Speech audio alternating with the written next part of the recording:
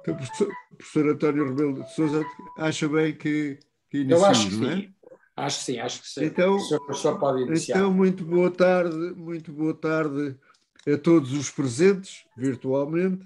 Nós hoje vamos ter uma bela conferência organizada pela Comissão Americana, que é presidida pelo professor António Rebelo de Sousa, e vamos ter o prazer de ouvir o Sr. Dr. Vítor Ramalho, presidente da UCLA, que é uma personalidade conhecida no país, é a pessoa mais indicada, na minha perspectiva, para falar precisamente do, do, do tema de, de, desta intervenção, que é cooperação no mundo lusófono.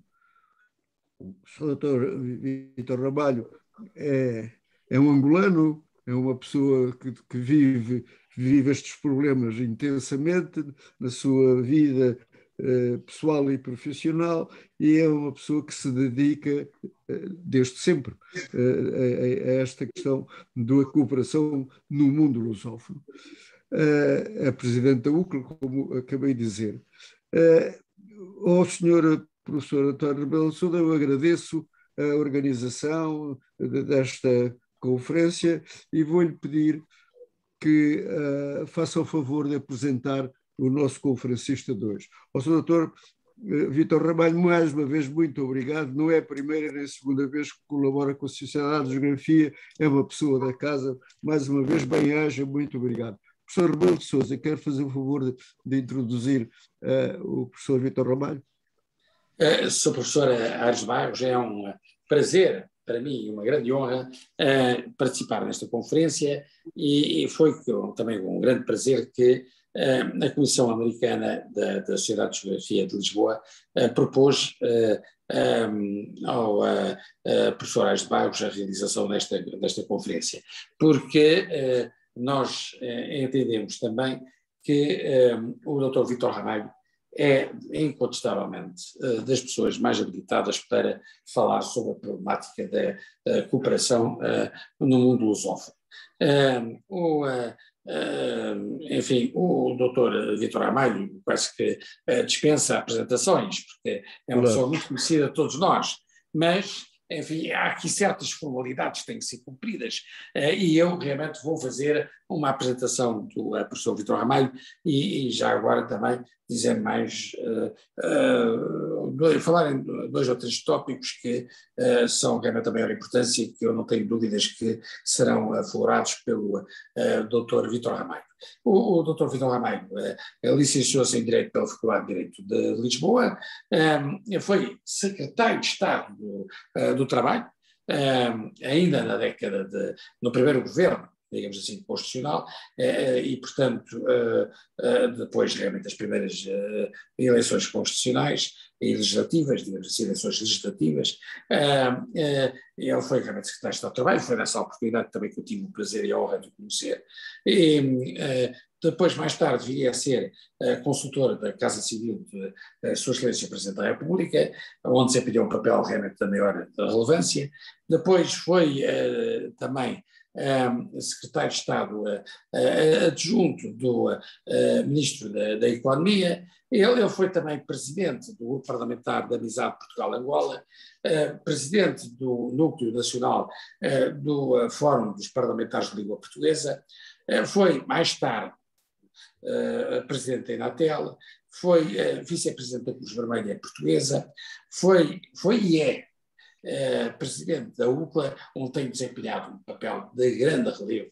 Eh, nós, eu tenho tido essa experiência porque, eh, na qualidade de membro da direção da, da, da, delegação do Centro e, e, do Alentejo da Ordem dos Economistas, nós temos colaborado muito com a UCLA e também na qualidade de presidente da SOFID, que é um enfim, um banco de desenvolvimento português, um pequeno banco de desenvolvimento português, nós temos também colaborado em várias realizações com uh, a UCLA, e ele realmente, de facto, tem sido um excelente presidente da UCLA, da União das Cidades Capitais de Língua Portuguesa, uh, e, e, e, recentemente foi, inclusive, uh, um dos fundadores da Alecom, da Associação dos Órfãos de Economia. E, e portanto, é, é, é alguém com muita experiência, com muitos conhecimentos, que eh, tem um papel muito importante, eh, que eles desempenhou um papel muito importante no processo de paz na Angola e teve também um papel particularmente relevante no processo de paz em Moçambique. E, enfim, eu penso que ele está muito habilitado em falar em várias questões como por exemplo uh, o, o, perigo que existe hoje em dia de passarmos de formas convencionais de ajuda ligada para novas formas de ajuda ligada que estão, têm vindo a surgir, realmente, ultimamente, com a influência uh, de uma potência asiática. depois, ele, ele também está muito habilitado a falar nos problemas que se prendem com a opção por novos modelos de substituição de importações de sabor protecionista eh, que estão a surgir eh, nas economias em vias de desenvolvimento, eh, com os problemas daí decorrentes, não é? E, e, também é alguém que está particularmente habilitado para falar nos, nos problemas que resultam da instabilidade cambial em várias economias em vias de desenvolvimento que eh, eh, de facto eh, dificulta muito o processo desenvolvimentista nessas mesmas economias. E, está também particularmente habilitado a falar nos eixos da política de cooperação portuguesa, quais são realmente os eixos principais da política de cooperação portuguesa e o que é que poderia ser feito e não está a ser feito em termos de política de cooperação portuguesa.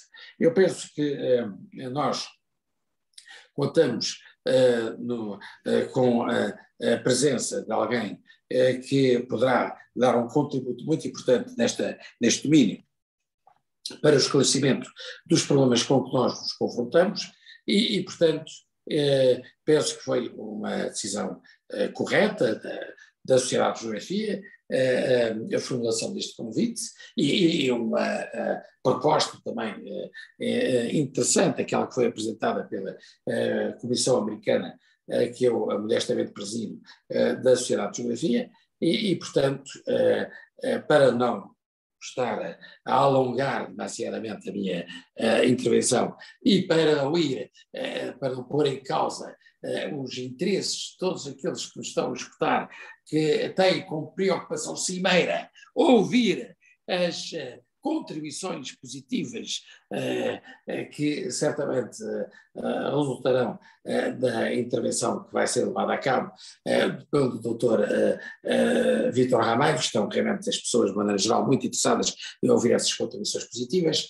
Eu, para não me alongar mais, tomava a liberdade de passar já a palavra ao Dr. Vítor Ramalho e muito obrigado pela oportunidade que me deram de poder fazer esta breve apresentação do nosso convidado de honra. Obrigado. Uh, muito obrigado.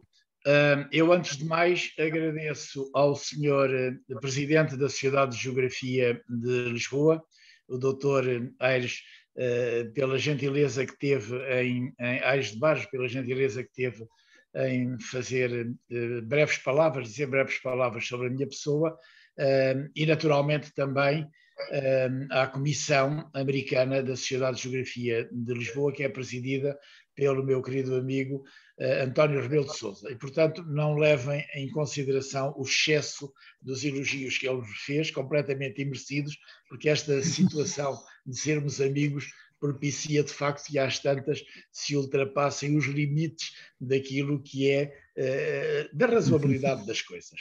Eu tenho o maior gosto, seja como for, para já, uh, em função de ser a iniciativa da Sociedade de Geografia de Lisboa, do Sr. Aires de Barros e, naturalmente, também da Comissão Americana, na pessoa do Sr. Dr. Professor António Rebelo de Souza. E o tema é realmente muito caro e compreenderão desde logo porquê. Há uma realidade natural insufismável. Não é possível nós renegarmos a própria mãe, isso é um dado da natureza. e, portanto, também, ao não renegarmos a mãe, não podemos nunca renegar a terra onde nascemos, onde crescemos, onde de alguma maneira brincamos, e onde acabamos por colher ensinamentos de vida verdadeiramente fantásticos. Desde logo dos horizontes largos que a África tem, onde nós colocamos os olhos de facto no fim do mundo, na verdadeira acessão da palavra. E esta noção da dimensão deste continente, das suas gentes, do próprio clima da terra, do cheiro da terra, impregna-nos de uma forma muito profunda Uh, e é realmente uma realidade que nos arrasta pelo, pelo resto da vida uh, e que nós procuramos mais tarde, na, na idade adulta, uh, perceber os contornos da própria evolução da terra onde nascemos e das gentes da nossa terra. portanto, falar aqui da cooperação e falar da cooperação dos países de língua oficial portuguesa é, na realidade, falar de povos e países que fazem parte de uma comunidade de cidadãos do mundo, eh, uma comunidade eh, com identidade própria, com uma concepção universalista e tolerante de estarmos. E isto é resultado de encontros seculares de cultura, é insufismável que assim seja e que fosse, e que forjaram relações de afeto e de interesses comuns. Eh, para termos a noção de que é assim, eh, a CPLP é a única instituição mundial, eu repito, a única instituição mundial que conseguiu integrar como membros efetivos todos os países de uma fala comum, eh, incluindo o próprio país colonizador, sendo que todos os demais adotaram como língua o português uh, como língua oficial, uh, fator que é determinante para a identidade e a unidade dos próprios países, que são, no que respeita aos países africanos, é bom que não nos esqueçamos disto, nações à procura de serem Estados, ou melhor, melhor Estados à procura de serem uma nação. nós que temos em Portugal, uma, uma, um, somos a nação mais velha da Europa, uh, temos que alcançar esta noção do tempo, porque também surgimos assim, em termos da diversidade de várias nações à procura de serem um Estado de facto. Uh, hoje, a língua portuguesa é indiscutivelmente uma língua materna em alguns desses países e, como disse, fator de unidade, que é um dado absolutamente fantástico. Se nós olharmos para o Brasil, eh, a dimensão fantástica deste país e projetarmos no tempo a consciência que no início dos descobrimentos os portugueses eram apenas um milhão e quando surgiu a peste passaram a ser apenas 600 mil, é de facto impressionante verificarmos a unidade linguística do, do, do Brasil, desde o interior mais remoto às pujantes cidades cosmopolitas que hoje o Brasil tem. Eh, é por isso, e não espanta que seja assim, que o português seja hoje a quarta língua mais falada do mundo. Eh, e, por outro lado, o que nós escamoteamos muitas vezes ou não percepcionamos a primeira língua mais falada, a primeira língua do Atlântico Sul e a quinta da internet. Eh, e isto não é só um fator eh, que permite eh, que falemos e sejamos entendidos por, povos de outra língua, nomeadamente o castelhano, na América Latina, por exemplo, para não falar na própria vizinha Espanha. Estas duas línguas representam neste mundo global eh, uma força eh, verdadeiramente notável, porque são também um instrumento económico determinante. E são um instrumento económico determinante que uma potência emergente, a China, apercebeu uh, cedo, de tal forma que ergueu Macau como a plataforma de ligação com os países de língua oficial portuguesa. E mais do que ter posto Macau como uh, plataforma de relacionamento com os países de língua oficial portuguesa, criou, como sabem, um fórum, uh, um fórum comercial de dinamização destas relações com os países de língua oficial portuguesa, uh, colocando no seu secretariado representantes de todos os nossos países e pôs a sede exatamente em Macau para além disso, criou um fundo dotado de verbas muito significativas, de 20 milhões de dólares, no sentido de procurar estimular uh, as relações de empresas chinesas com empresas uh, de língua oficial portuguesa. Sendo certo que os empresários hoje de Macau têm acesso direto, com muito poucas restrições, ao restante território da República Popular da China. Eu refiro isto sem qualquer tipo de preconceito, mas apenas como uma constatação, eh, de facto, da importância da nossa língua.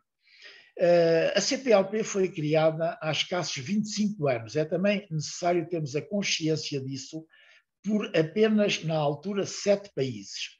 Eh, e foi criada em 17 de julho como sabem, de 1996, e decorridos apenas sete anos depois da implosão de um dos polos da bipolaridade, ou seja, a União, a ex-União Soviética. A adesão de Timor-Leste veio mais tarde, só ocorre em 2002, após a ocupação, como sabem, do território pela Indonésia, que, é, que até então e após a anexação a considerava 27ª província. E não havia nenhum país poderoso no mundo, repito, nenhum país poderoso no mundo, que não considerasse essa 27ª província como uh, uma província que jamais deixaria de ser uh, pertença ou uh, incluída na Indonésia. Nós devemos ter também presente este facto, tanto mais que o direito à reconquista ao exercício pleno da soberania do povo timorense, ao lutar contra, contra uma invasão de armas na mão, contou sempre, sempre, sempre com a solidariedade do povo português. Até uma solidariedade comovente, quando se deram os acontecimentos de Santa Cruz e houve uma cadeia real do termo, desde as crianças até aos mais velhos, que depois perpassou por todos os povos de língua portuguesa. e essa cadeia levou a que eh, a solidariedade com a luta do povo timorense tivesse feito mudar aquilo que parecia ser inexorável e, como tal, considerado pelas principais potências à escala planetária. Eu queria vos dizer o seguinte: Portugal e os portugueses, ao solidarizarem-se com o povo de Timor, fizeram o mesmo contra os poderosos do mundo. E queria recuar no tempo, uma vez que o, que o nosso amigo António Rebelo de Souza me deu conta, eu deu conta, eh, que eu fui membro do governo.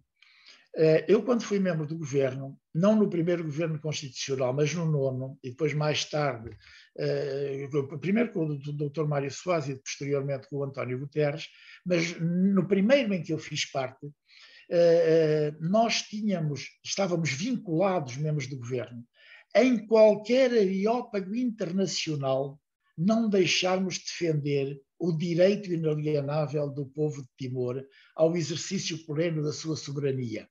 Porque isso representava da Constituição. Uh, e muitas vezes, eu lembro-me duas vezes pelo menos, em que eu, numa assembleia no estrangeiro, em que não havia cabimento de falar em Timor, eu falei. E, um diplomata num país estrangeiro vem ter comigo e diz-me: Mas vocês estão sempre a falar nisso, isso não faz muito sentido. E eu disse: Você vai ver que fa faz todo o sentido. Uh, e, e fez todo o sentido quando o mundo descobriu a opressão de uma forma de facto sanguinária, eh, através da divulgação das imagens que chegaram a todo o mundo a partir exatamente, como sabem, do cemitério de, de, de, de Santa Cruz.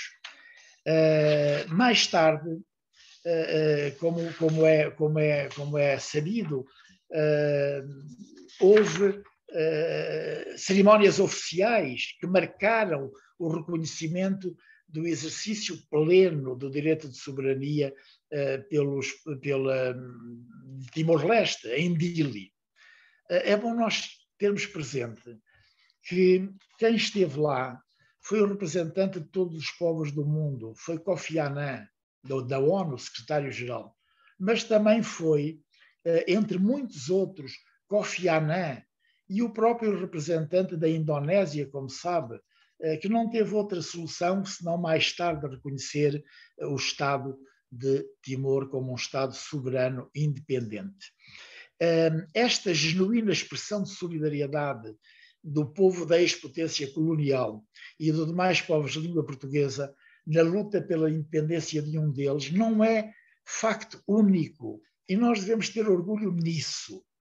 Quando Dom João VI e com ele a corte regressaram a Portugal, após o termo das invasões napoleónicas, como sabem, e o advento do liberalismo em Portugal, o filho primogênito, Dom Pedro, uh, ao pronunciar o famoso grito do Ipiranga, dizendo apenas eu fico, acabaria por ser o primeiro imperador do país, ou seja, do Brasil, o grande Brasil, não sem que muitos portugueses fossem considerados heróis brasileiros, como, por exemplo, uma referência incontornável da independência do Brasil, o Major Tiradentes. É, igual modo, muito importante e, e proveitoso nós termos presente que o regime, que o regime anterior, de, derrubado no 25 de abril de 1974, oprimia todos os povos, mas também oprimia o povo português. Porquê? Porque era um país, era um regime ditatorial, um, regime ditatorial provinciano, digamos, mas não deixava de ser opressor para todos os povos que se exprimiam em português, os povos colonizados e também o povo português. É terceira questão que é útil nós lembrarmos. Uh, foi por essa razão que os partidos e movimentos dos ex-territórios africanos que lutaram pelas independências, quando constituíram logo no princípio a Conferência das Organizações Nacionalistas das Colónias Portuguesas, de alguma maneira na altura predecessora da CPLP, estranho, mas é verdade, eles tivessem declarado que a luta que travaram era uma luta contra o regime que a todos oprimia, incluindo o povo português. Mas o povo português era o povo, era um povo solidário com a luta de libertação. Esta visão premonitória veio a ser comprovada por inúmeros factos, mas, sobretudo, veio a ser confirmada com a ocorrência de 25 de abril de 1974, que foi um levantamento, acabou por ser um levantamento primeiro militar e depois verdadeiramente uh, popular. Uh, portanto, fazer luz sobre a razão pela qual a CPLP, como referi, é um caso único no mundo de uma comunidade de cidadãos com objetivos de afeto, mas também de muitos interesses e comuns, é uma realidade. Eu, quando cheguei aqui à UCLA, de que sou secretário-geral, eh, a primeira preocupação que tive eh, foi fazer uma grande homenagem aos homens e mulheres que, vindo estudar de, das ex-colónias para Portugal, eh, nos anos. Eu fiz uma homenagem a esses homens que vieram estudar para Portugal e que eh, integraram ou integraram-se numa estrutura criada pelo regime anterior que se chamava a Casa dos Estudantes do Império. Verifiquem o seguinte: nenhum país que colonizou a África tem isso, nem nenhum país que colonizou outros povos tem isso.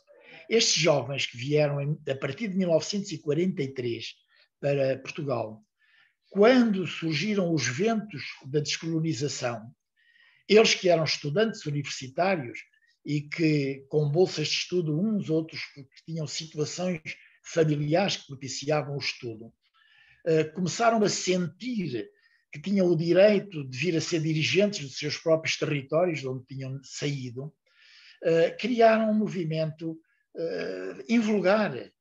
Eles foram autores de pequenos contos, de pequenos livros, que deram origem na Casa dos Estudantes do Império a publicações incríveis. Eu digo o termo carregado e já vos vou explicar porquê. E juntos com os jovens estudantes portugueses, nos anos 60, acabaram, antes do, praticamente com o início da luta de libertação, por abandonarem os estudos e 150 deles saíram clandestinamente do país para a França, de onde foram dirigir os movimentos de libertação. Eu digo que foram um, movimento incrível pelo seguinte: quando nós ouvimos trautear uma canção do namoro, por exemplo, que é cantada pelo Sérgio Godinho, eu fui a um baile e ela disse que sim, está aí o Helder de Oliveira, que já ouvi, que recita muito bem esta, esta poesia. Esta poesia é do Viriato da Cruz, que era um angolano. Tal como uh, também esteve na Casa dos Estudantes do Império a Alda Lara, outra angolana, que tem poesias verdadeiramente notáveis, como a Mãe Negra, que é cantada pelo Paulo de Carvalho, uh, ou o Testamento, que é cantado também por uma grande fadista que já faleceu, a Cidália Moreira. mas também temos poetas eh, que eram da casa, e, e queria-vos dizer o seguinte: homens de todas as cores.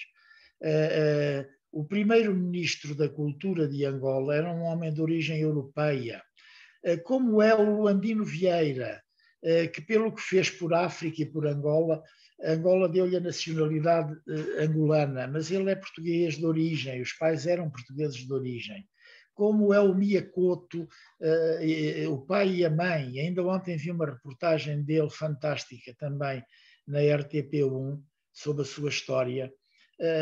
E eu digo-vos o seguinte: os nossos povos são isso, são esta miscização que houve, esta luta comum que caldeou, de facto, um projeto que é um projeto que tem de ser de futuro, uh, e, que não, não, e que tem que ser aprofundado. E tem que ser aprofundado agora, particularmente neste mundo global, que não tem fronteiras, que é um mundo multipolar e com liberdade crescente de pessoas e de bens. Eu tenho a ideia, sempre tive, que não há futuro sem memória. E infelizmente agora, nos nossos dias, a memória está-se a perder e os jovens eh, que têm o poder político, o poder da oposição, entendem eh, que isso não conta para nada. Eu não acho isso. Eu acho que é necessário eh, vermos o enquadramento desta situação e dos nossos países também numa lógica de intergeracional, porque aquilo que eu vivi, um jovem de 40 anos não viveu seguramente, não podia viver, porque o 25 de Abril foi quase há 50 anos e felizmente vai ser comemorado brevemente. E é bom que todos saibamos que esta nossa língua é hoje utilizada eh, como língua de trabalho em 32 organizações internacionais. Isto não é uma questão menor. Eh, e há outra questão que não é uma questão de maneira nenhuma menor. É que todos os nossos países fazem fronteira, como sabem, com o mar. O que é que isto representa? Isto representa, por exemplo, Portugal. Portugal é o país europeu continental mais próximo das Américas. Basta olhar para o globo e vermos. Eh, por via marítima. E é por isso, por via marítima, porta de entrada para o velho continente. Sines não foi projetado por acaso. A Auto-Europa não existe em Palmela por acaso os, os, os, automóveis que são produzidos na Auto Europa destinaram-se inicialmente muito para os Estados Unidos da América e, portanto, apesar dos custos eh, de produção no que respeita aos custos salariais serem mais elevados que outros países, eventualmente, há aqui uma vantagem competitiva enorme. Eh, Lisboa, Rabat, é muito mais perto de Lisboa do que é uh, uh, Paris, por exemplo. Uh, e Ilha Rabat é no continente africano, é aqui mesmo ao lado, realmente. E depois temos Cabo Verde e São Tomé e Príncipe. Se vocês repararem, são verdadeiros porta-aviões no Atlântico, sendo que o primeiro, ou seja, Cabo Verde, isto é esquecido muitas vezes, integra a chamada Macronésia, ou seja, a região do mundo que, do ponto de vista botânico, é única, não há outra no mundo. E o que é, que é a Macronésia? A Macronésia é Cabo Verde, são os Açores, é a Madeira e são as Canárias. ora bem, nós temos que conceber, começando por aqui, uma estratégia da cooperação que tenha em atenção as potencialidades enormes de cada um dos países, mas também das regiões onde eles se integram. Uh, uh, na proximidade de Cabo Verde está, como sabem, a Guiné-Bissau. E, e, não é apenas essa proximidade que levou a Milcar Cabral, que aliás tinha um pensamento interessante, muito interessante, e era um homem de facto superiormente dotado. Ele dizia que mais do que falarmos português, nós pensamos em português. E a luta em prol da independência da Guiné-Bissau e de Cabo Verde teve a lógica de não ser possível ou ser muito difícil a independência de Cabo Verde se não houvesse essa associação uh, inicial. Mas o que eu queria dizer aqui, relativamente à especificidade de cada um dos nossos países, é que a Guiné-Bissau, com a sua invulgar riqueza natural para a agricultura e para as pescas, uh, tem o mesmo que Santo Tomé e Príncipe, e rivaliza com Santo Tomé e Príncipe, nas inesgotáveis potencialidades turísticas em Bijagós. Ora bem, nós podemos pensar na cooperação de duas maneiras. Ou pondo a flecha alta e sabendo que a força da gravidade a vai atirar para baixo, mas se quisermos atingir um objetivo distante, não podemos deixar de pôr a, a flecha alta e pensar em grande, ou pensarmos em pequenino. Há duas soluções. Eu acho, sinceramente, que nós muitas vezes pensamos em pequenino e não vemos que uh, a Macronésia, uh, mas também Timor, com as potencialidades turísticas invulgares, uh, nos pode fazer mover para a criação no cluster do mar propriamente, e que tem a ver com as pescas e com a riqueza marítima, com a criação de um cluster que responda não apenas à cabotagem, do ponto de vista do comércio mundial, mas também a grandes transatlânticos que nos aproximem ainda mais, nos aproximem eh, da Macronésia, de que Cabo Verde faz parte, mas também de Timor e também do grande Brasil, e eventualmente também, porque não, de Timor e obviamente de Portugal, ligando assim naturalmente os vários continentes. Uh, dirão assim, isso é muito difícil. Eu, vocês acham sinceramente que no, na primeira dinastia quem pensou estrategicamente a epopeia dos descobrimentos pensou pequenino. Eles não tinham menos meios quer humanos, quer materiais do que nós tínhamos. Quanto aos meios humanos, já falámos, eram um milhão de pessoas e depois passámos a ser 600 mil. Mas tinham estratégia, pensavam racionalmente, socorreram-se dos homens mais hábeis no mundo, do ponto de vista da cartografia, da, da, da, da, construção naval, do ponto de vista da ciência náutica, da própria localização daquilo que é possível. Portanto, nós temos que pensar também nesta lógica em grande. Uh, falando para além destes países, portanto, insulares, exceto a Guiné-Bissau, nós temos que ter presente que Angola e Moçambique fazem parte da SADC, uh, ou seja, de, de, de uma comunidade de, da África eh, subsaariana, uh, da região sul. e ambos os países têm potencialidades verdadeiramente inesgotáveis. para não falar, já tinha há pouco referido o Brasil, que assegura, Brasil esse que assegura, para além disso, que as relações dos países ibéricos, ou seja, Espanha e Portugal, só possa ser feita com os dois. E que isso é uma mais-valia para a Europa intraduzível. Porquê? Porque, como também já tinha dito no início, nós entendemos completamente a língua castelhana. E se falarmos pausadamente, os, os que falam a língua castelhana na América Latina ou em Espanha entendem a nossa. E mais do que entenderem, apreciam-na. Eu tive esse exemplo quando, no governo, fui uma vez representar o país, a Espanha, e estava na altura o príncipe, que é atual rei de Espanha, e na conferência que eu tive, falei muito devagar. E ele veio ter comigo e disse: A vossa língua é tão bonita, percebi tudo.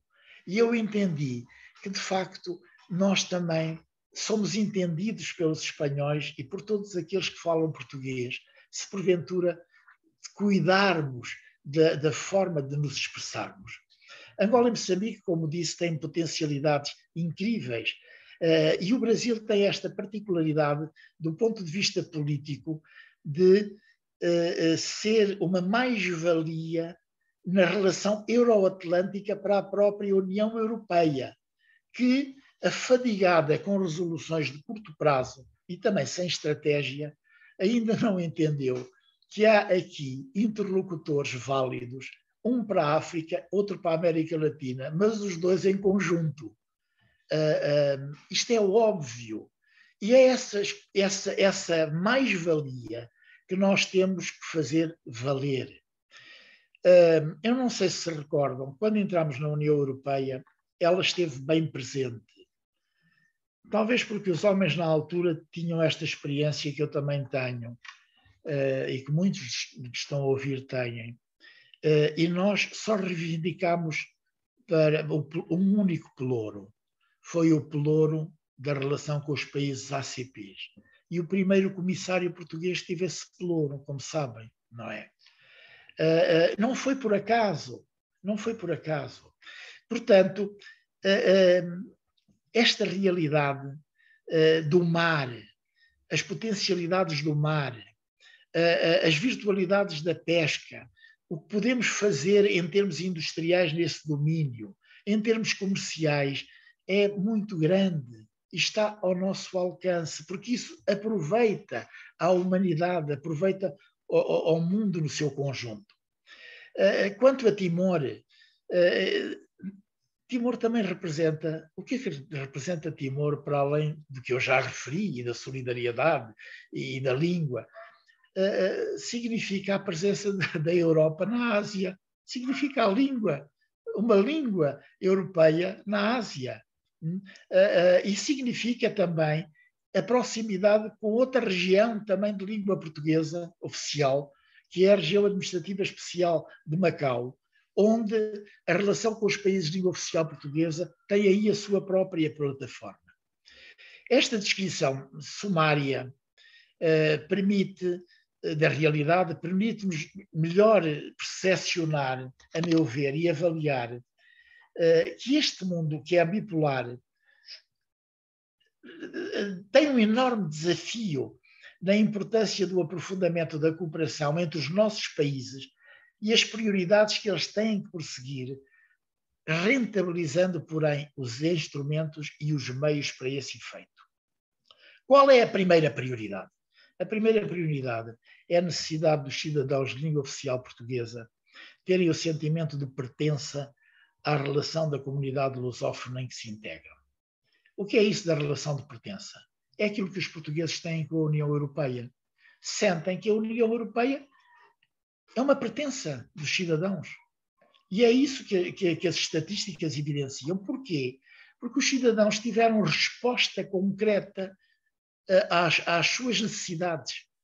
E nós podemos também fazê-lo relativamente à, à, à, CPL, que se quisermos. Se não quisermos, não vamos lá. Temos que pensar em grande. Quem percebeu isto muito bem foi a atual presidência de Cabo Verde, que, como sabem, preside a CPLP. E colocou na ordem do dia a necessidade de haver uh, um, um, uma liberdade de circulação de pessoas, uh, dando pequenos passos, mas é de pequenos passos que se vai ao longe. Uh, como é óbvio, não é possível, nesta vastíssima comunidade que fala a quarta língua do mundo e tem mais de 270 milhões de habitantes, haver uma liberdade de circulação absoluta, isso não é viável. Mas pergunto-vos a vocês o seguinte: os empresários uh, moçambicanos que investem em Portugal, ou os santomenses ou os angolanos que cá investem, acham que precisam de visto para virem a Portugal? qual é a necessidade de o terem se eles colocaram parte da sua riqueza para a, para a dinamização dos outros países de língua, de língua portuguesa? A mesma coisa se porventura o que ocorre, eh, um angolano eh, eh, investir em Moçambique. Portanto, isto é uma necessidade, ou vice-versa, isto é uma necessidade comum de todos os nossos povos. Relativamente ao que eu digo aos empresários, há aqui um dado que eu gostava que registassem, que é o seguinte: aqui há uns anos, eu cito muito isso porque me tocou muitíssimo. Aqui há uns anos atrás, houve um melómano brasileiro que veio a Portugal fazer uma investigação sobre a razão de ser uh, das nossas músicas terem um tronco comum. É óbvio que a morna é um, um, tronco, um tronco comum, como o fado, mas a mesmíssima coisa o samba, porque tem origem comum da multiculturalidade que nós uh, dimensionamos à escala global. Ele veio para Portugal para estar dois meses a fazer um estudo, ficou cá dois anos. Foi para a Torre do Tombo, foi para a Biblioteca Nacional e publicou uma obra exemplar que se chama Os Negros em Portugal, uma presença silenciosa. Eh, dessa obra eh, resulta a multiculturalidade de todos os nossos povos, um tronco comum, uma base comum, eh, em muitos aspectos, desde logo na música, como, como, como eu disse, e numa dimensão cultural que é incrível. Eu já utilizei esta palavra três vezes porque é. Um germano de Almeida, de Cabo Verdeano, é um legítimo e digno sucessor de um Baltasar Lopes que escreveu essa obra genial que se chama O Chiquinho. Mas também Mia Couto é, eh, para além da Paula Xiziane, de Moçambique, eh, Bom, nós estávamos aqui a multiplicar-nos, falando no Pepe Tela, que foi o homem da Casa dos Estudantes do Império na Cultura, já falei no Viriato da Cruz. Bom, as nossas culturas não podem ser confinadas a cada um dos nossos países, valem muito mais do que isso. É por isso que nós temos que encontrar saídas para a livre circulação de homens e mulheres de cultura com regras, é verdade, mas relativamente aos quais, às quais, àquelas que fixarmos, não haja dúvida nenhuma que o merecem. Merecem porquê? Por todos nós. Vocês acham que um Jorge Amado tinha necessidade de ter visto? Vocês acham sinceramente que um Miyakoto, uh, de alguma maneira, não é nosso também? Um Luandino Vieira, que, como eu já disse, nasceu cá, olha, e, e viveu cá muitos anos e ainda cá está o José Rodrigues foi um grande amigo dele, um homem, olha, outro homem de escultura eh, de Angola, fantástico, lá de cima eh, de, de, de, das proximidades de Bragança, como sabem, de Viana do Castelo. Tem lá um, um, reconstruiu uma casa fantástica onde o Bandino Vieira viveu muito tempo. Portanto, as nossas culturas realmente são são, são culturas vivas, são a expressão daquilo que nós devemos cuidar e, portanto, também aí. Mas, para além da cultura, os universitários. Nós vamos a algum sítio se coartarmos a relação entre os docentes universitários, a estabelecer também com determinadas regras, ou com os jovens, não temos o direito de recriar uma situação idêntica àquela que temos aqui na Europa, do Erasmus. Sim, é verdade, eu estou-vos a pôr a fasquia demasiado alta, mas eu não quero mesmo pensar em pequenino, não é? Uh, depois, nós, para além de, de, temos a questão da maritimidade dos países de língua portuguesa que já vos falei. Uh, maritimidade essa que nos transporta para a relação euroatlântica por mais voltas que nós demos. Razão bastante para consertarmos energias para a exploração do que é comum no mar. Refiro-me concretamente às pescas, mas não só. Nós não sabemos hoje, com o alargamento da zona económica exclusiva dos países que está em cima da mesa na ONU, eh, que vamos ser muito maiores do que somos. Por exemplo, se tiver aprovação o alargamento da zona económica exclusiva marítima de Angola e do Brasil, elas vão tocar uma na outra. Vão tocar uma na outra. E, portanto, eh, nós não podemos ter coisas grandes e depois pensar em pequenino. Uh, para além desta questão da, da, maritimidade, do cluster que já vos falei, da indústria, da, da, da contitorização, dos transatlânticos, há, obviamente, uma questão de sobrevivência dos países africanos de língua oficial portuguesa. E essa sobrevivência entre povos irmãos, e nós somos deles, devemos lhes dizer uma coisa muito simples isso de concentrarmos todas as nossas energias no orçamento para recolhermos uh, verbas que são 98% de riquezas naturais, como no petróleo em Angola, ou futuramente como o gás em Moçambique, é um erro. Não significa que não devem ser feitas, mas é um erro que se está a pagar caro e Angola está a ser vítima disso. Então, o que é que tem que ser feito na ajuda e na entreajuda? Obviamente, falando da subsistência e da sobrevivência, é falar no setor primário para a autossustentabilidade desses países que têm condições de sobra na terra, uh, em termos da agricultura, da agropecuária e da pesca. Uh, tal como a Guiné-Bissau, por exemplo, a mesmíssima coisa. Uh, um, vocês, desculpem lá eh, invocar certos factos. Uma das crises mais profundas que a humanidade vai ser confrontada é a água potável. Vai ser a água potável, que não há. Não há, salvo seja. A natureza é tremenda. Se vocês virem no mapa, Angola tem dos rios mais caudalosos de África, mas para mesmo na fronteira. Para mesmo na fronteira. O Namibe já não tem, a África do Sul também não. E Moçambique, a mesma coisa. Ora bem, isto, esta riqueza, que é uma riqueza natural, valerá mais no futuro que todas as riquezas mineralógicas, porque isto tem a ver com a sobrevivência. Tem a ver, de facto, com a sobrevivência dos países e com a, a, a, dinamização daquilo que é fundamental, eh, que é o setor primário da agricultura e das pescas. É, portanto, fundamental que nós interligamos estas questões todas, uma, numa lógica estratégica. E para isso temos que racionalizar, evitando cometer erros que temos cometido. Eu vou-vos dizer um erro que cometemos muito sério, podem me levar a mal, mas eu, isto não tem nada de ideológico.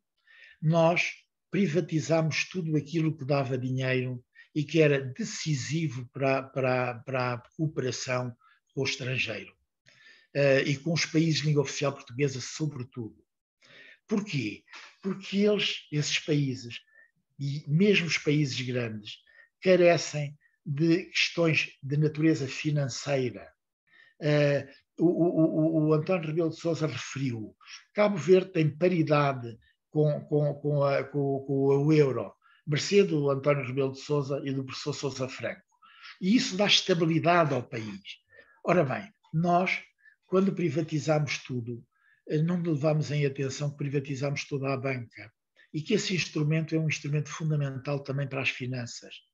Tínhamos 95% de domínio nacional da banca e nesses países também. É útil saberem. Neste momento temos 8%. Eu outro dia discuti com o Rebelo de Souza porque ele diz-me que acha que são 10. Eu acho que são 8 mesmo. Uh, uh, e nos seguros a mesma coisa. Bom, mas depois não fizemos só isso. Nós, infraestruturas, eh, empresas fundamentais para a cooperação, para o saneamento básico, para a eletrificação, privatizamos tudo. A EDP, a REN, os aeroportos todos, a distribuição postal, e eu fico-me por aqui. Ora bem, nós temos que olhar para isto. A Europa possibilitou isto. E agora, porque veio uma crise brutal, com consequências sérias, reclama a reindustrialização. Vocês já viram o, o anacronismo disto? Não viram a tempo que a industrialização da, Euro, da Europa era fundamental e agora reclamam-na. Não tem outra saída. Mas nós temos que pensar num banco para a cooperação. Já existe um banco pequeno, que é a SOFID, mas ela tem que ter uma dimensão maior. Todos os países que querem dinamizar a cooperação têm-no porque é um instrumento de financiamento. Ora bem, eu que, que tenho uma concepção uh, de uma alma uh, de todo, que, que abraça todos os povos e países, não tenha dúvidas que nós, quando olhamos para as nossas coisas, os portugueses veem as coisas por Portugal. E as privatizações hoje em dia que levaram a que eh, poderosas empresas estrangeiras tenham o domínio delas, é muito difícil que percebam o que nós estamos a fazer. Eu, para vos ser sincero, outro dia até escrevi uma carta ao Primeiro-Ministro, eu devo-vos dizer porque acho que isto é fundamental. Nós aqui na UCLA, sobre este assunto, nós aqui na UCLA uh, uh, temos empresas, temos uh, cidades associadas e depois temos empresas apoiantes. Hum? O que, é que são empresas apoiantes? São empresas que entendem que a UCLA tem um papel que resulta da Constituição, que é uma obrigação que resulta da Constituição, no sentido de aprofundamento com as relações dos países de língua oficial portuguesa. E eu comecei a reparar que após esta coisa das privatizações, o tecido empresarial português diminuiu na estratégia que tinha, de tal forma que nós sentimos isso. E então a TAP foi a primeira empresa, não tem nada a ver com o Covid, muito antes, que me escreveu uma carta a dizer que gostava muito da UCLA, éramos muito simpáticos, mas não havia razão de nós, de eles continuar a ser associados. Se eu vos dissesse quanto é que a TAP pagava, vocês não acreditavam, porque é uma quantia irrisória. Mas nós contribuímos para que a TAP tivesse uma relação de grande proximidade com as cidades, porque nós temos 55 cidades que são associadas e fizemos esse trabalho também. A seguir à TAP vieram outras empresas de capital exclusivamente público, a última das quais eu até me sentei na cadeira a perguntar se isso era verdade, foi a Caixa Geral de Depósitos. É, é, bom, o que nós fizemos para a defesa da Caixa Geral de Depósitos em Timor, em, em, na Espanha, em, em, Angola e agora até em Moçambique, não dá para contar. Porque compreendem que uma estrutura como a UCLA eh, é uma estrutura de proximidade com as pessoas eh, e, portanto, quando, quando nós queremos falar com o senhor presidente da Câmara do Maputo, nós estamos a falar com um dos homens mais ilustres de Moçambique. Faz o favor de ser meu amigo, ou nosso amigo. Uh, um homem que se licenciou cá, um grande economista, a mesma coisa na cidade de Luanda, a mesma coisa. Olha, o, o, o, o atual primeiro-ministro de Cabo Verde, que é um querido amigo, Ulisses Correia Silva, foi eh, foi presidente da UCLA. Eh, enquanto eu aqui estava, eu era secretário-geral e presidente. Eh, fizemos várias viagens aos países lusófonos, demos a mão antes de ele ser primeiro-ministro. E ele percebeu isto como ninguém. Estou-vos a dizer isto porque isto são consequências de pensarmos pequenino. E eu não tenho problema nenhum, nem é, não é coragem, é uma obrigação que eu tenho de denunciar isto. E, portanto, não tenho problema nenhum em dizer, escrevi ao Sr. Primeiro-Ministro a dizer isto não pode ser, tem, não significa que as empresas não possam sair, mas ao menos que haja a consciência da importância da entrada e da saída e da sensibilização da obrigação que emerge da Constituição eh, do aprofundamento das relações com os povos e países de língua oficial portuguesa, não é? Uh, posto isto, já estou quase a acabar, Postas estas questões eh, e, estas evidências, também por arrasto, a meu ver, nós devemos ter a noção e a ideia de que no quadro atual do mundo, os países de língua oficial portuguesa preenchem todas as condições para contribuírem para criar uma força de manutenção de paz, mas com objetivos exclusivamente humanitários, que responda ou possa responder neste domínio, por exemplo, à interligação das cruzes vermelhas, dos, das secções das cruzes vermelhas dos nossos países, que têm essa missão e que devem ter essa missão. E seguramente a Cruz Vermelha Internacional e a própria União Europeia reconheceriam a importância dela, que dava para entrar sem problema rigorosamente nenhum em situações do tipo de Cabo Delgado que está a ocorrer. Uh, ou de um vulcão na, na, na, na, Ilha do Fogo de Cabo Verde, da intempérie que houve lá, ou na Beira, quando houve aquele ciclone. Uh, e aí sim havia uma resposta clara sobre isso.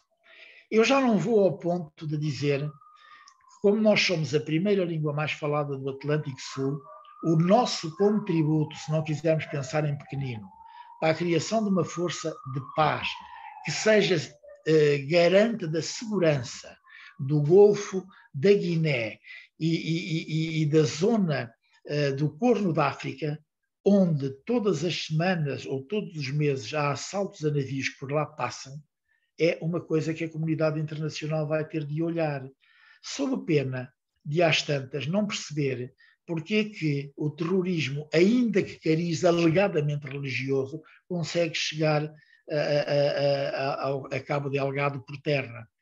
Uh, nós não temos aqui uma palavra a dizer. Se somos a primeira língua mais falada do Atlântico Sul, vocês dizem o seguinte: bom, mas aqui é um problema de naval e de força naval. Bom, o Brasil é uma força naval militar séria. Não é uma coisa menor. E os outros países também têm contributos a dar, incluindo Portugal, que era uma forma de nós também contribuirmos para a própria defesa de nós próprios no que atende ao problema da, da, da, da defesa das zonas marítimas especiais. Uh, é que o momento, neste o momento é mesmo o de prevenir, para que hoje para amanhã não seja impossível remediar. Uh, eu volto a repetir, vocês dirão, os meus queridos amigos, que há aqui objetivos demasiado ousados, mas é, que é necessário começarmos a pensar nele e fazermos com pensamentos e ideias globais que, que atendam àquilo que é a nossa realidade. Uh, eu também, sem nenhum complexo, uh, há que dizê-lo, nenhum complexo, uh, não foi pensando pequenino que a primeira dinastia de Portugal, repito-vos, com muito menos recursos e meios, projetou a epopeia dos descobrimentos. Não foi, de certeza absoluta. E basta lermos para sabermos que não foi. E fizeram sair, por efeito da estratégia, homens gigantes, que depois escolhiam também homens de primeira grandeza para os associarem e para os assessorarem. Isto é verdade, pura e simplesmente. Bom, esta realidade não escamoteia de maneira nenhuma a persecução, que resulta naturalmente das motivações de afeto, dos interesses comuns eh, mais, mais diversificados e menores, eh, que as estatísticas nos fazem sobressaltar e, e evidenciar, eh, seja na cooperação técnico-militar que se desenvolve, seja na saúde, seja na economia, seja na justiça, e, e que se traduzem em incontáveis acordos que, inclusivamente, de forma multilateral ou bilateral, temos desenvolvido, inclusivamente no seio da própria CPLP. Só que é necessário enquadrar tudo isto com objetivos estratégicos. Com objetivos estratégicos.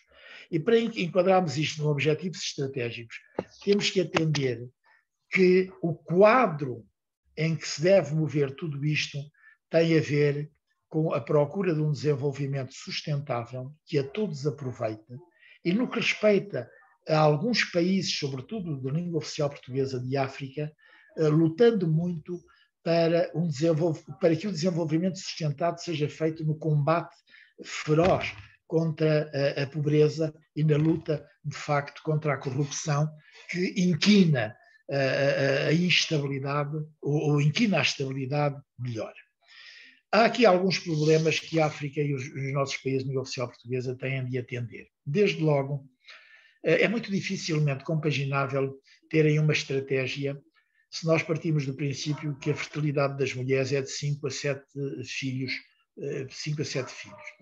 Eh, e que a idade média, a idade média em África é, é, é inferior a 20 anos, como sabem, ou da ordem dos 20 anos de idade portanto, pessoas, um conjunto grande da população devia estar afeta à atividade económica, à atividade escolar e não à atividade produtiva. Como é que isto se planifica? Como é que isto se resolve? Isto resolve-se seguramente através da sensibilização para o planeamento familiar, que é fundamental, simultaneamente com respostas à prevenção da saúde, sobretudo das doenças endémicas, e é aqui que os nossos países têm um contributo grande a dar. Uh, se alguma coisa uh, nós uh, podemos contribuir, nós, Portugal, é exatamente neste domínio da escolaridade também, da, da formação escolar e no problema uh, também da saúde, hoje tão gritantemente sentido. Uh, oxalá uh, consigamos deixar de pensar em pequenino, como estamos a pensar.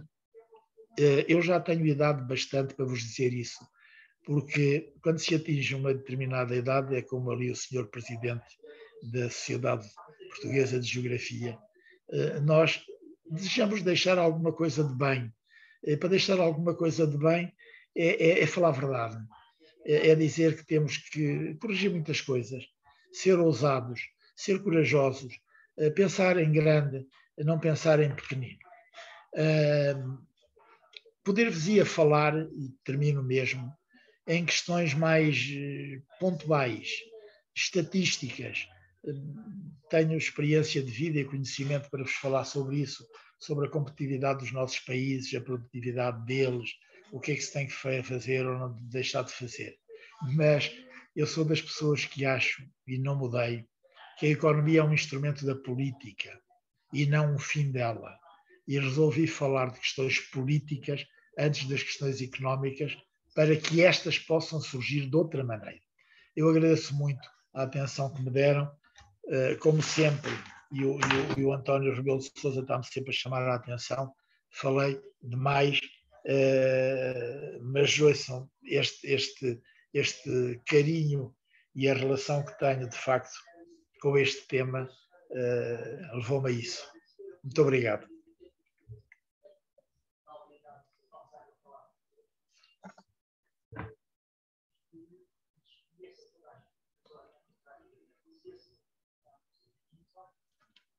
Tem que ligar o som.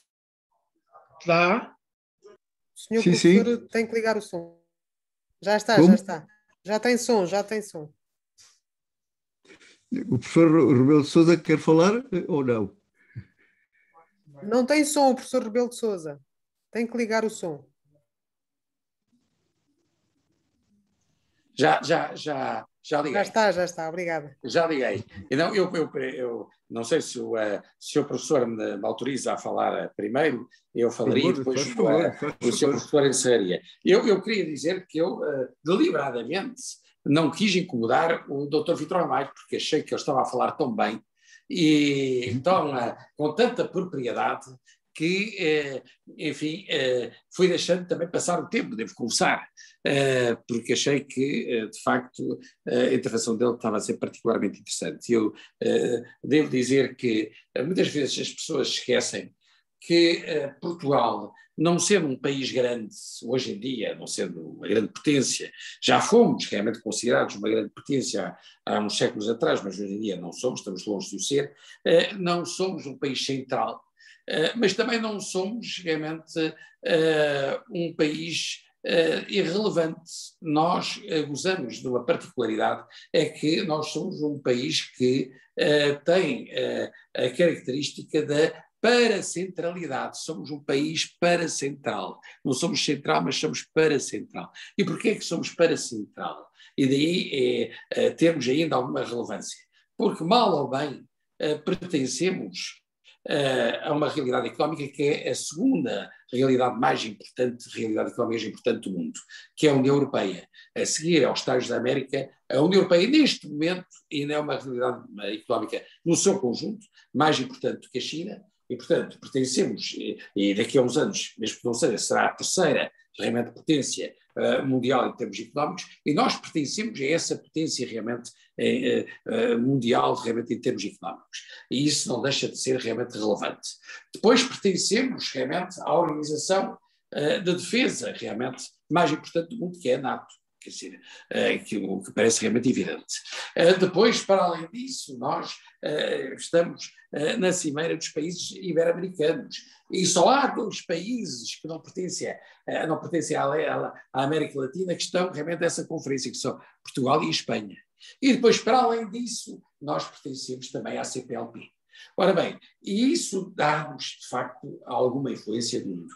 Não só uh, influência aos olhos dos países da CPLP, porque uh, nós, nos países da CPLP, somos importantes, não é só porque falamos a mesma língua, não só porque uh, nós realmente uh, fomos esta, a origem de todas as coisas, digamos assim. nós somos realmente relevantes porque estamos na União Europeia. Somos relevantes para o presidente de Moçambique, somos relevantes para o primeiro-ministro de Moçambique, somos relevantes para o presidente de Angola, realmente somos relevantes para o primeiro-ministro, porque pertencemos também a, realmente à União Europeia. E somos relevantes para esses países porque estamos na NATO.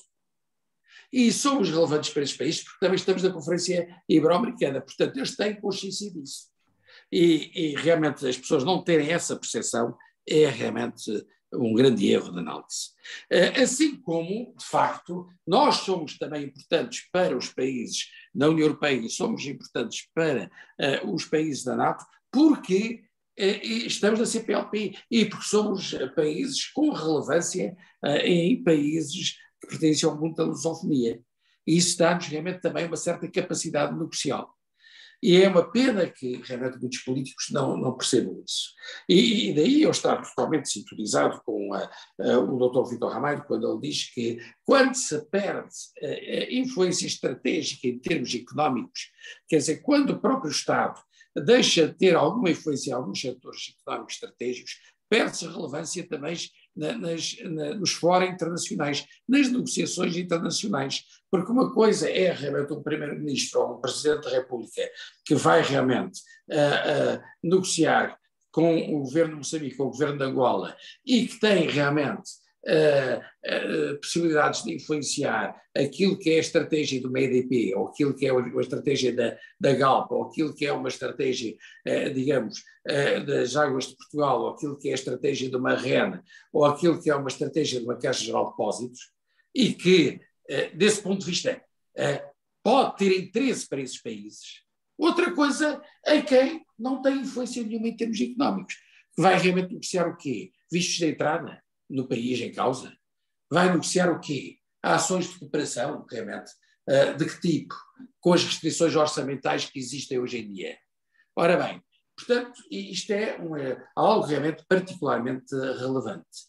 E, é, e, uma das coisas realmente uh, importantes, eu penso que se tem falado muito da mobilidade nos países da CPLP, na mobilidade em geral nos países da CPLP, mas eh, eu acho que há um projeto muito concreto, muito particular, que é, é concretizável e que não põe em causa os nossos compromissos com a União Europeia, nem os compromissos de países da língua oficial portuguesa com a CDAO, nem compromissos de países uh, da, língua oficial portuguesa com a SDSI, eh, enfim, nem com a CEMAC, que é realmente a UNSIC.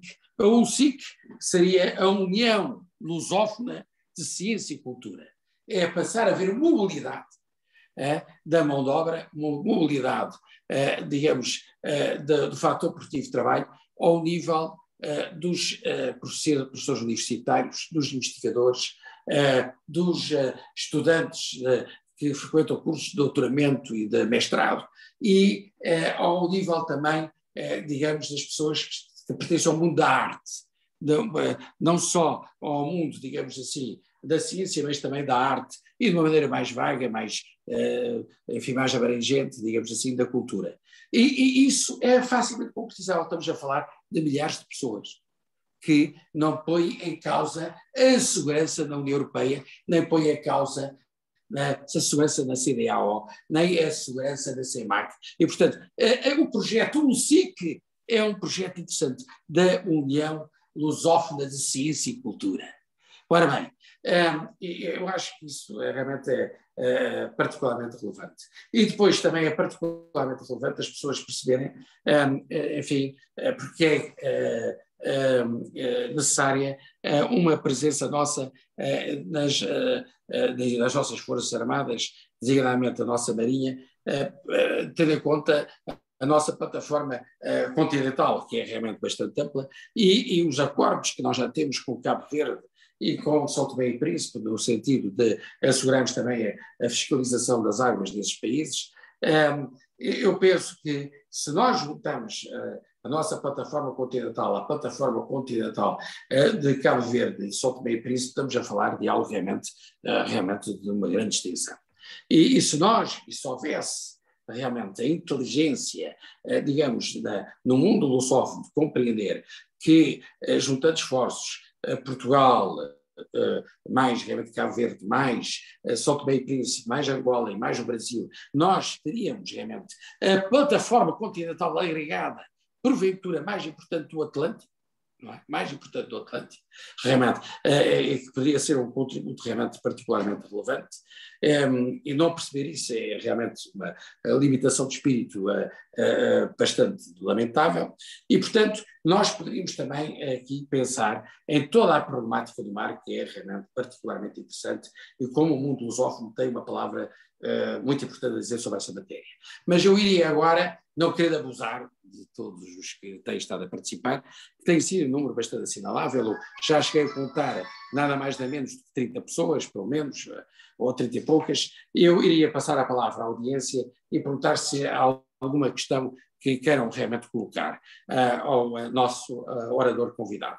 E, portanto, se houver alguma questão que queiram uh, colocar, façam favor de o fazer, que, enfim, o nosso orador convidado irá certamente responder de uma forma eloquente.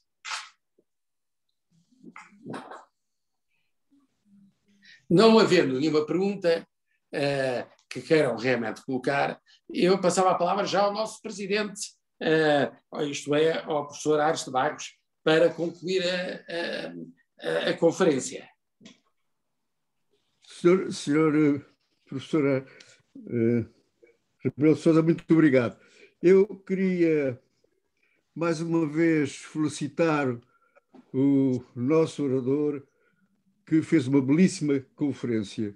Eu permito-me recordar que esta conferência teve dois grandes eh, momentos, chamemos-lhe assim, um momento de evocação histórica, desde evocar uh, os largos horizontes da África por onde nasceu e por onde se foi formando, até contar um, um pouco da, da, da, história mais recente, inclusivamente falando na, na, na Casa dos Estudantes do Império e no alfobre de eh, políticos que aí se foram formando. E teve duas frases muito importantes. Não há futuro sem memória. Eu fui muito sensível a esta, a esta frase, porque neste momento é muito importante que ela eh, seja bem vivida e bem estudada e bem sentida e nós, na Sociedade de Geografia, sentimos-la bem. Não há futuro sem memória. A Sociedade de Geografia é uma casa de memória que procura acompanhar a vivência do país. E outra expressão foi pensar em grande. É, efetivamente, importantíssimo. E isso liga-se com a segunda parte da sua bela conferência, que foi o ter apresentado as prioridades grosso modo, falou em quatro grandes prioridades. O sentimento de pertença à comunidade lusófona. Isto é muito importante. Acho esta expressão muito feliz. O sentimento de pertença à comunidade lusófona. Portanto, isto como se faz? Até com um tipo do, do Erasmus, que também referiu, etc, etc. Uma segunda prioridade é aquela que também ainda agora o professor Belo de Souza salientou, a maritimidade. E o que é que isso significa num Atlântico Sul que fala português fundamentalmente? Depois falou na sobrevivência dos países de língua portuguesa. Esta palavra sobrevivência tem um grande significado, desde a sobrevivência física, porque há zonas de muitos dos países da CPLP que estão precisando desse apoio, até, digamos, à sobrevivência económica, agrícola, eh, pescatória, industrial e na educação. Na educação. E, no fim, falou num plano de cooperação e no papel que a UCLA pode aí desempenhar. Este plano de cooperação é fundamental que seja delineado e com etapas devidamente, devidamente eh, apresentadas. Eu quero dizer, Sr. Doutor eh, Vitor Ramalho, muito obrigado. Foi uma conferência magnífica e, e, e de facto, eh, teve esta, esta maestria de nos evocar, evocar para nós, para os homens da, da nossa geração, um passado de meio século, um passado de meio século em que nós fomos vendo muita coisa que se passou no nosso país e estamos precisamente agora para lançar e, e para, com estas prioridades eh, eh, prospectivar o futuro. Eu não sei, senhor eh, professor Rebelo de Sousa, se tem mais alguma coisa a dizer, se não, não sei. Não, não, não. Poderíamos, é, não. a menos que, é, o nosso conferencista também queira. Não, não. Eu penso, não. Eu não, não, eu por mim não tenho mais nada a acrescentar e agradeço mais uma vez a intervenção do uh, uh, Dr. Vitor Ramalho, que foi particularmente brilhante, e também, uh, enfim, uh, as intervenções particularmente brilhantes também do, do Sr. Professor Ars de Barros, que também contribuíram para brilhantar esta sessão. Muito obrigado. Muito obrigado. Professor, obrigado. muito, muito, muito obrigado. Muito, muito obrigado. obrigado. Foi magnífico. Obrigado. Muito obrigado. Muito obrigado. Obrigado também. Obrigado. obrigado. Boa tarde a todos. Boa tarde. Sônia Carlos, meus cumprimentos.